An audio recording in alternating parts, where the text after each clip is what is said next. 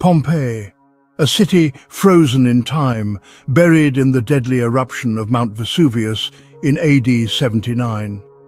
For centuries, we've walked through its ancient streets, studied its preserved homes and looked upon the haunting remains of its people. These plaster casts capture the last moments of their lives, but so much about their stories has remained a mystery. Who were these people, really? Families, neighbours, strangers.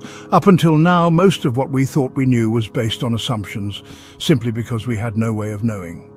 But now, thanks to the latest advancements in DNA technology, we're finally uncovering the true identities and connections of Pompeii's victims. For decades, researchers have assumed that bodies found close together in Pompeii were related, often family members. After all, in their final moments, it would make sense for loved ones to stay together. But new DNA analysis has changed everything we thought we knew. In one remarkable case, two individuals were found close together, their remains preserved in a seemingly intimate position. For years, archaeologists thought they must be sisters. But DNA analysis revealed they were not related at all. It turns out that in Pompeii, people didn't always stay with family in those final moments.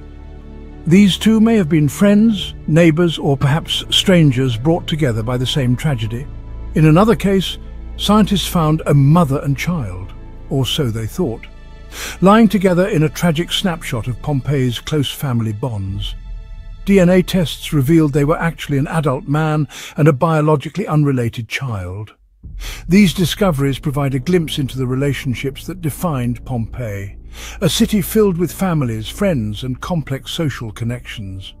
The DNA findings show us that Pompeii was a diverse social landscape, where people of all backgrounds lived side by side.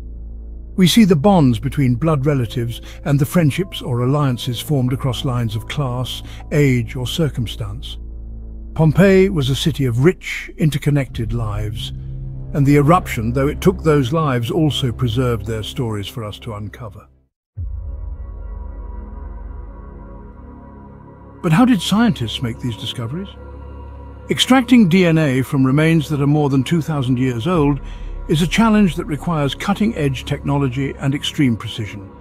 The unique preservation of Pompeii made this possible. When Mount Vesuvius erupted, the city was covered in a thick layer of volcanic ash, essentially freezing it in time. This preserved not only buildings and artifacts, but also the remains of its people in extraordinary detail. Scientists carefully extracted DNA from the bones, then compared the genetic material to identify familial connections, or the lack thereof. It's a delicate process that only recent advancements in DNA technology have made possible. Each new discovery brings us closer to understanding the lives and relationships of these individuals who lived and died in Pompeii. What do these revelations mean for us today? Pompeii offers us more than a snapshot of an ancient city. It gives us a powerful reminder of our own fragility, of the connections that define us and the ways we face disaster. These people, whether bound by family, friendship or simply shared circumstance, remind us that even in times of extreme crisis, we seek out those bonds.